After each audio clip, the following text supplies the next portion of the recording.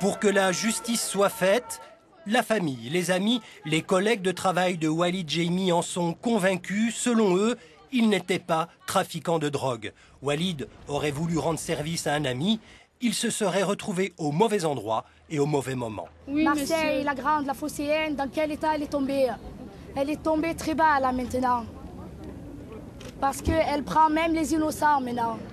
Walid Jamie a trouvé la mort avec un ami dans la nuit du 16 mars, ici, à Simiane, à 15 km d'Aix-en-Provence. Les corps ont été retrouvés dans un véhicule calciné, un mode opératoire qui ressemble à un règlement de compte. Mais pour l'élu PS des quartiers nord, Samia Gali, le trafic de drogue n'est pas la seule cause de l'ultraviolence que connaît Marseille. C'est trop facile qu'à chaque fois qu'il y a un mort dans ces quartiers ou à Marseille, on dit ah mais c'est des trafiquants de drogue ou ils étaient connus par les services de police. Non, il y a des jeunes qui ne sont pas connus par les services de police, qui ne sont pas des trafiquants de drogue et pourtant qui malheureusement laissent leur vie euh, sur les trottoirs euh, de Marseille.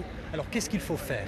Ben, Il faut que j'en appelle à François Hollande solennellement et à son Premier ministre de l'Intérieur lorsqu'il sera nommé pour que les moyens, tous les moyens soient mis euh, pour que Marseille devienne une priorité nationale sur la question de la sécurité. En fin d'après-midi, le cortège s'est rendu dans le quartier de la Viste, où réside la famille, pour observer une minute de silence.